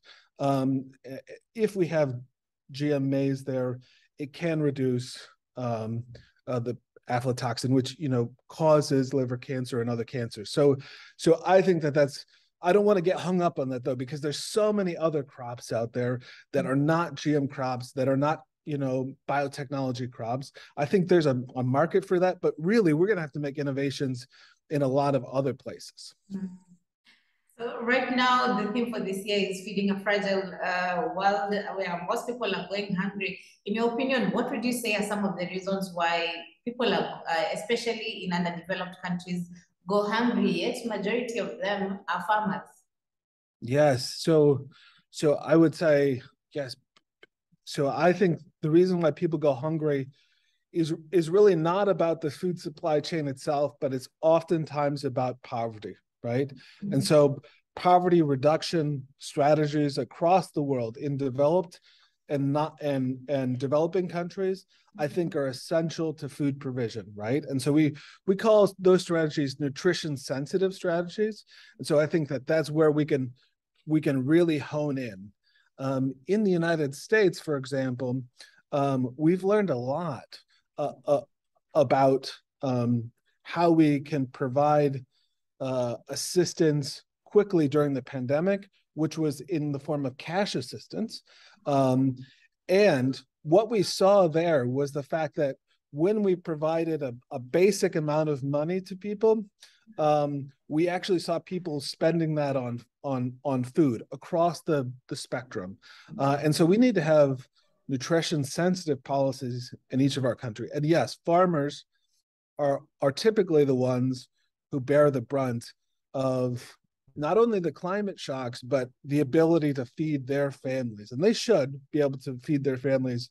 Um, and so we need we need programs in place that allow them to make a a good wage uh, or a good amount of money for the the the items that they produce, and oftentimes that's not the case now. Very interesting. Now, what might be some of the differences between a family farmer in the US and being a family farmer in an, under, an underdeveloped country? And what do you think is the common? Uh, is why do you think? What do you think these farmers have in common? Well, I mean, I'd say that the things that they have in common are that they are, you know, they're they're stewards of the land, right? Mm-hmm. Stewards of the land, and stewards basically of all of us, right? Because all the people who rely upon their food for survival, I think that's common amongst a, you know, a, a soybean or maize producer in Iowa, or a you know a maize producer in Tanzania, right? I mean that's I mean they're very common. Mm-hmm. Uh, I would say that what's different is oftentimes in the United States that we have m- much fewer family farmers now, um, or in in developed countries in general, the, the the amount of farmers is completely decreased.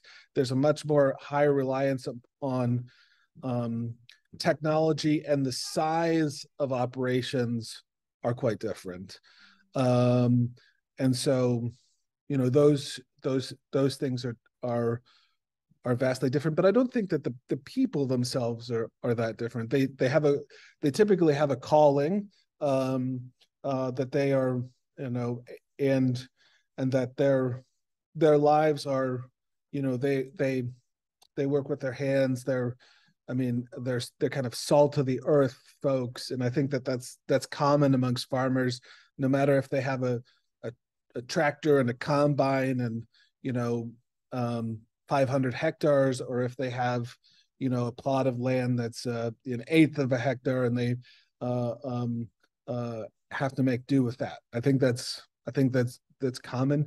I think also that they're probably the most hardworking folks um, uh, and and typically across the spectrum whether you're a farmer in the united states or farmer eh, other places they're not super well paid right? Um, and so that I think that's that's a, maybe a common theme as well. Mm-hmm. Going uh, by the changing times, what uh, is your take on the, the food systems and um, the world being able to end hunger according to the UN's SDGs?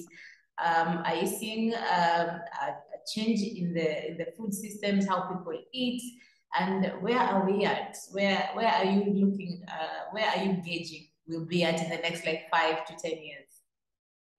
Well, I would say that in a, my state of Iowa, right where we're where we're coming to you from right now, mm-hmm. um, we have significant levels of hunger, uh, and we have significant. Yes, we have we have significant levels of of hunger. In fact, we have we have um, um, people who are using a, emergency food aid at, at record levels. Mm-hmm. Um, but that being said, is that we also have the ability, if we make it a priority, to end hunger um, in the state of Iowa and across the United States and probably across the developed world. Um, and so the, the priorities uh, are are a significant issue, right? So if you if we prioritized ending hunger, I think that it it would be doable. I don't know if it's doable in the in the 2030 aspirational time frame, but I think it's I think it's um, um, doable. But it's it's about about prioritizing poverty alleviation and reduction. It's it's not it's not so much about prioritizing. Um, we can get much more efficient in food systems and food provisions across the world, and there's a lot to say about you know how we move food um, you know covid-19 especially in in developing countries uh, when kind of informal transit networks broke down uh, or or were basically stopped in countries and between countries uh, we saw that people really had a hard time because a, a lot of food was moving through an informal network um, which i think is is something that we we came to realize how important those types of informal networks were for provisions of food uh, in developing countries, and then how um, kind of shock, you know, if there's a, uh, you know, if commerce or if trade stops, um, how quickly food becomes a a, um, a big issue. Mm-hmm. Um, but in de- in developing countries too, it's about poverty allevi- alleviation, not just mm-hmm. you know, um, so people can afford uh, healthy, nutritious food. Talking about nutrition, what probably would you encourage families to do? Probably because you're talking about poverty, and uh, some people might not be able to afford three days in a meal. Um, what is your take on uh, the affordability of nutritious meals, and how can people probably substitute to get yeah. a, a, a nutritious meal? Well, I, you know, I have to say that we we face a, a nutrition problem in, in, a lot of different places, and it changes mm-hmm. uh, based upon based upon where you are. Mm-hmm. Um, nutritious foods have to be available, and they can't just be luxury foods, right?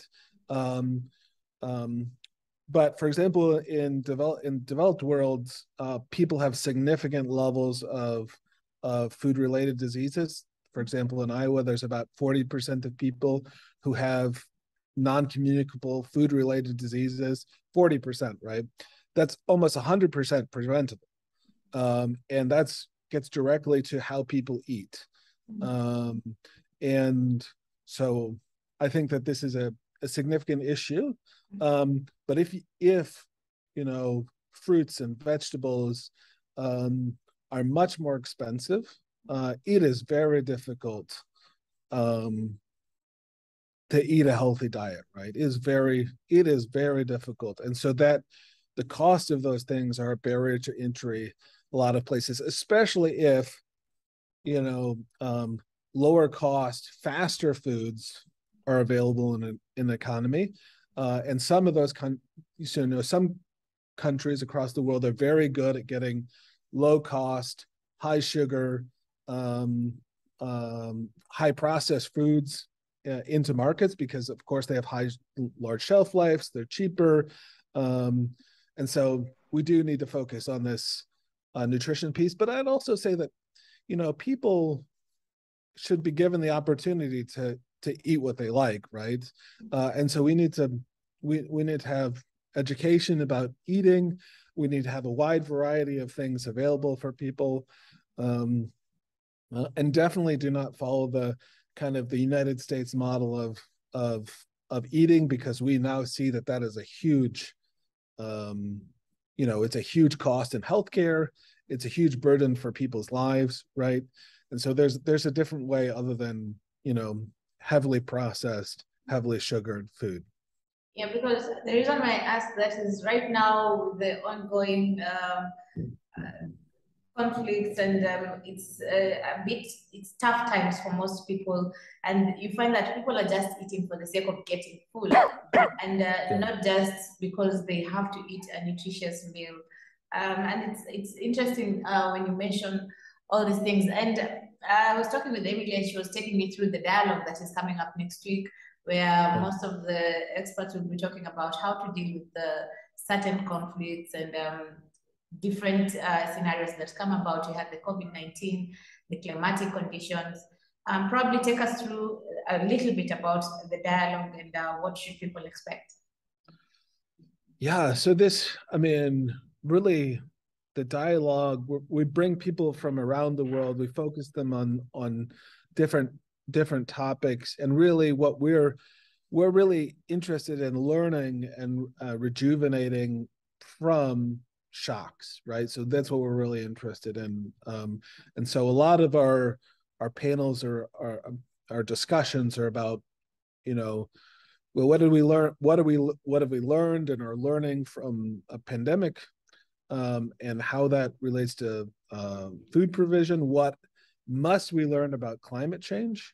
Um, because that is a that's a significant, you know, that's an ongoing thing that, you know, um, people, for example, in Kenya, right, uh, uh, um, you know, the where tropical fruit is produced may change, right? Where maize is produced may change. The pest that you um, that you you know uh, whether it's fall armyworm or whether it's other things, there there may be a, a significant uh, um, change in the pest environment. Uh, uh, and so we we need to be be able to think and talk across continents. Uh, for example, we're we're we're convening folks from from the Americas and who have you know basically partnered across the continent Africa and and the Americas to to think about how we can move technologies between uh, countries and and in fact you know thinking about the Brazilian um, you know the Brazilian ag economy it looks a lot like um, um, places in Africa right? And so how do we learn across across those areas? Maybe we don't learn from uh, maybe we don't take much from highly mechanized um, uh, soy and um, maize production in the United States because that's um, maybe not a great, but how cassava in Brazil, which is a large, um, they they produce a, a, significant amount of cassava. How do we learn about that in in the continent's perspective? And and so we're convening people on that. Um, we'll be convening ministers from uh, across the world, uh, ag ministers mostly uh, from across the world to be discussing these topics as well. Um, uh, and um, the US government is going to uh, launch a new food security strategy uh, at the dialogue. So we're we're excited about about that. We um, the US government in 2006, I believe, launched the Feed the Future initiative uh, at the World Food Prize, um, uh, and so this this new um, food security strategy, I think, will be uh, uh global in scope. And so we have um, uh, Samantha Power, who's the administrator of USAID, and Tom Vilsack, who is the um, Secretary of Agriculture, uh, talking about that new strategy. And so I think that's that's going to be really interesting. And of course, we uh, value our our laureate, who is Cynthia Rosenzweig, and we have a, a Borlaug Field Award winner, which is a, a young scientist, um, uh, and he's a um, Govindaraj is, is is is his last name, uh, and I'll go with I'll go to Emily maybe to say his first name, but he's he's, a, he's an Indian. Uh, he focuses on on on millet, and actually um, biofortified millet gets back to kind of the nutrition um, the nutrition component there, right? Is that uh, also millet is a is a crop that could be um, climate uh, smart. Um, so I think that's that that could be interesting. We're also thinking about climate smart crops, right? Um, sorghum is a great example of a uh, of a climate smart crop that we produce in the United States somewhat, but on the continent, um, uh, sorghum production is is significant, and also because of its low water intake, um, uh, it could be a a, a good it, it, could be a good maize substitute, right? Mm-hmm. Um, maize is um, uh, has a high water. Um, uh, mm-hmm. it needs a lot of water, mm-hmm. um, and so so that that could be that that's essential. And of course, maize is a staple crop across the continent, mm-hmm. um, and so how we produce maize um, uh, on the continent, I think is really important. It gets back to the GM question, right? Um, uh, and the aflatoxin afl- aflatoxin question about how we um, produce and store maize, which can be stored for a long time. It's it's it's an excellent, but we need to be able to store maize in significantly bigger quantities on the continent and be able to uh, move it um, much more efficiently and that way we don't lose as much maize in the process. Um, so I think that's that, that that's really a big fo- would be a big focus of mine is how do we deal with this with a staple grain like maize durable crop, um, w- which a significant number of farmers on the continent are producing, especially in, in Kenya. Um, and uh, yeah, so I kind of got off track there, but I but I hope you. It's very it's an interesting discussion. I'm really looking forward to uh, s- just listening into what the experts have to say. But Yeah. realistically speaking, what can you tell farmers? Like, let's now start the dialogue. Um, Yeah. How can farmers um, recover from a shock like climate change? Like most of the farmers who are doing horticulture farming in Kenya have stopped because they, there's literally no water. So how can farmers recover from such shocks? Yeah, so this is, I think this is the this is the the the number one question, right? If if you're if you're uh, experience a long drought, um, how can you produce horticultural crops? And I think that that's, I mean, basically, um, we oftentimes see in that case, right, that farmers then move to urban areas, right, and look for work in urban areas. Um, uh, and that's uh, that can be difficult. Um, I I think that in general we're going to see need over the long term, right?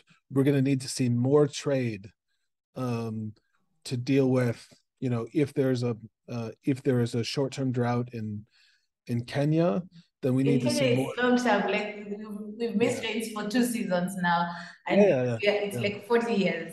Most of the Right. people, animals are dying, and Right.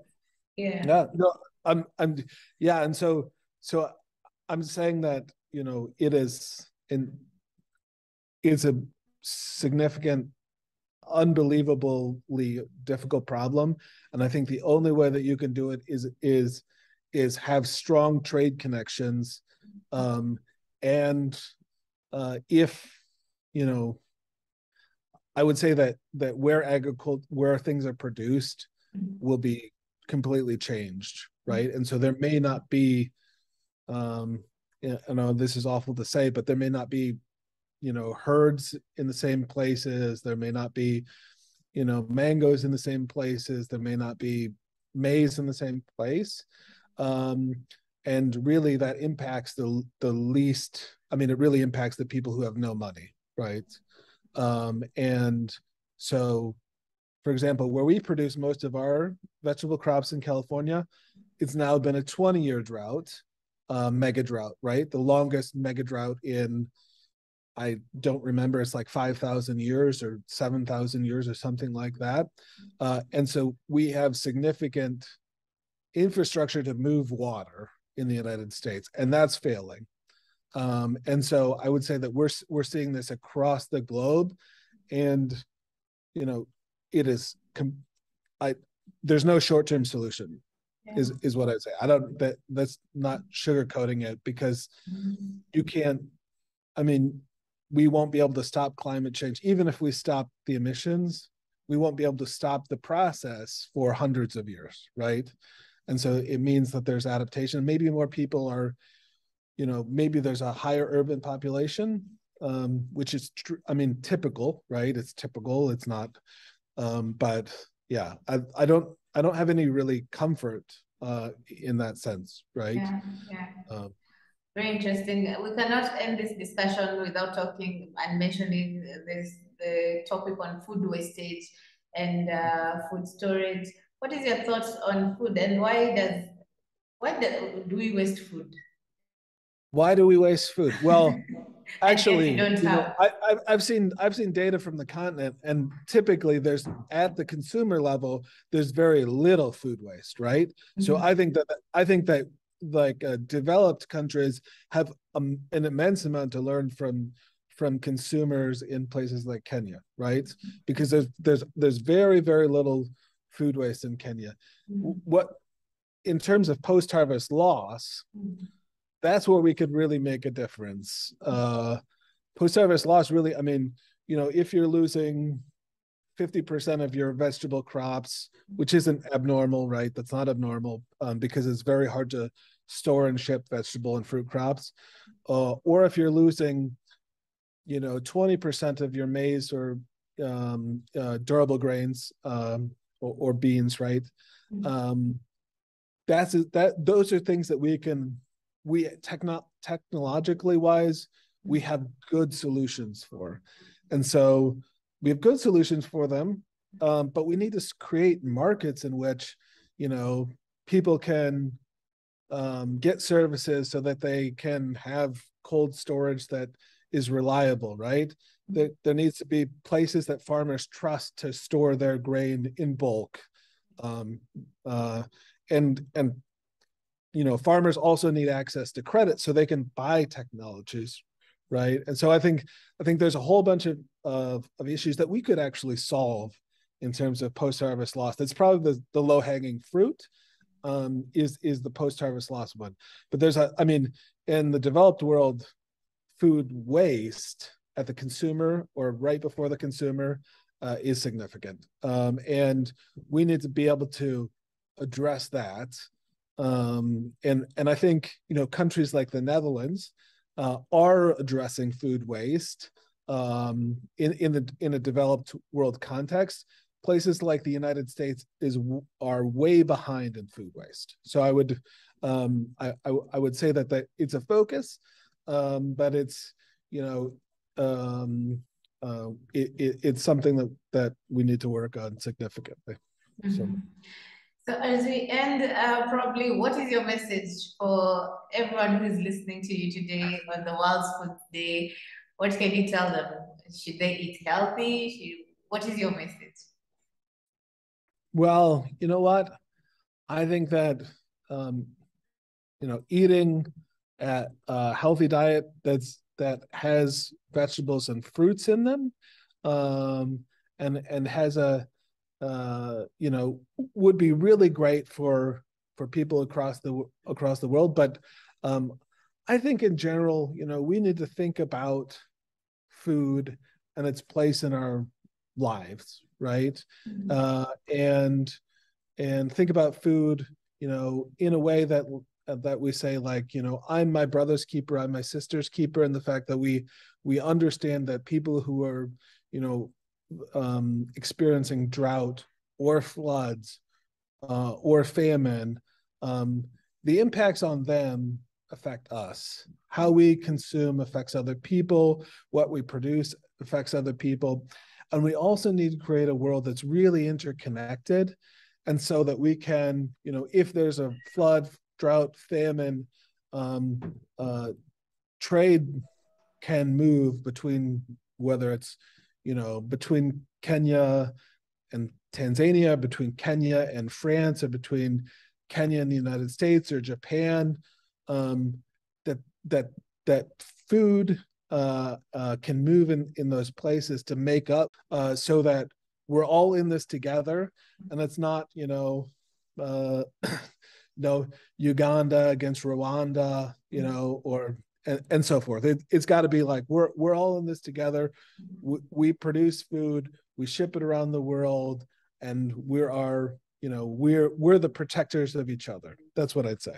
Yeah, we should be our brothers keepers. Like we, we shouldn't see like one country is doing good and the other country is starving. If you have this kind of food, you can share with this other country, and there's the intertrade connection that takes place. That's very interesting, and it's quite a mm. very interesting message that you've shared.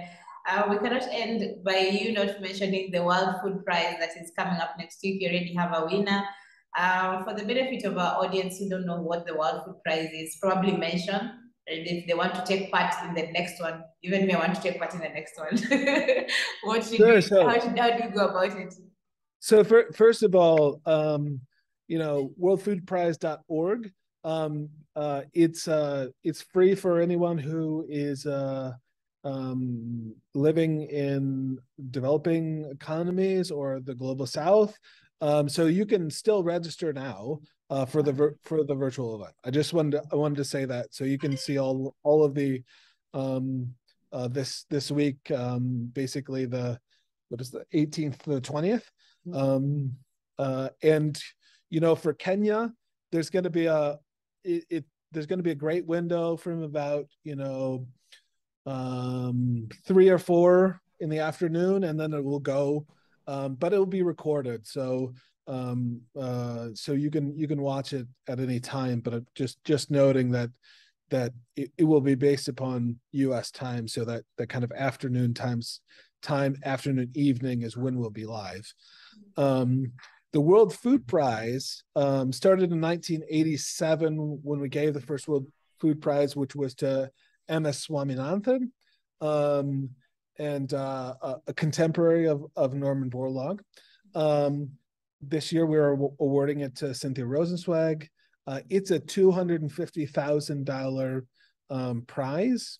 Um, and we give it to we give it to the winner and they can do whatever they want with it typically they though they they um, you know for example the the president of the african development bank and he set up a youth program uh, uh, with his winnings. Um, so typically people do uh, give back with that prize but it's it's a it's a prize right? They can people can do with it. And we really we recognize people um, for their body of work um, and cynthia is is so deserving uh, of of this prize. And she's actually bringing people together with agmip and now agmip uh, is helping uh, about 20 countries um, around the world on climate adaptation plans uh, in on the continent. I believe it's um, at least Senegal. There, there are others as well, but I, I, I, know for sure that the government of Senegal is working with with, with AGMIP uh, uh, on a climate climate adaptation plan, and so really using commu- computer modeling uh, to understand the impacts, but also understand, you know, uh, the economic impacts, um, what types of crops can be planted. And so I think, you know, Cynthia uh, really deserves the prize uh, as a as a capstone for her career, but also, you know, she's going to do great things in the future as well. Mm-hmm. Very nice. I'm looking forward. I'll, I'll, I'll, join for next year, not not this year though. Okay. I, I well, we, the well, money. Yeah, we'll have you in. De, we'll have you here in Des Moines, uh, Des Moines, Iowa, uh, the heart of the the kind of the farm. I'd call us the farm capital of the of the United States here in in Iowa. So we're we're in in harvest time right now, and so so we're we're harvesting um, mostly maize and soybeans. Um, uh, it's a sight to see.